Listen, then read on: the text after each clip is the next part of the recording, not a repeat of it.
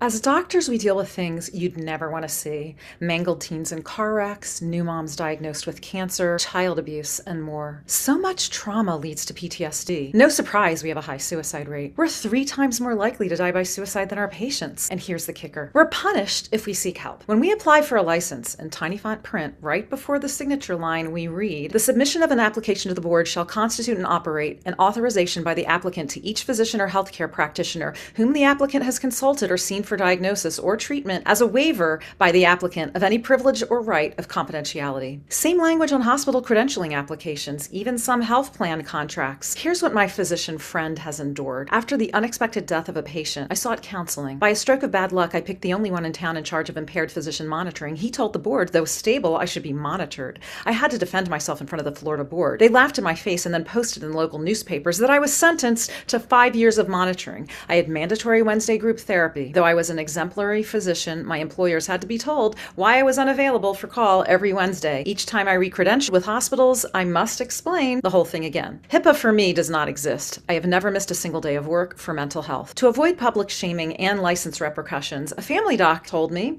I've been in practice 20 years and have been on antidepressants all of that time. I drive 300 miles to seek care, always pay cash. I am forced to lie on my state relicensing every year. There is no way in hell I would ever disclose to the medical board. They are not our friends. A male doc told me, Do you know what really hurts? The fact that anyone can look me up on the internet and read my dirty laundry. I'm publicly shamed by my medical board, punished for being ill. I will only know peace when I am gone. So that's messed up. We help suffering people, yet we can't get help. We spend our careers protecting the confidentiality of patients that we can never enjoy. On behalf of all the suicidal physicians I speak to, let's stop punishing doctors.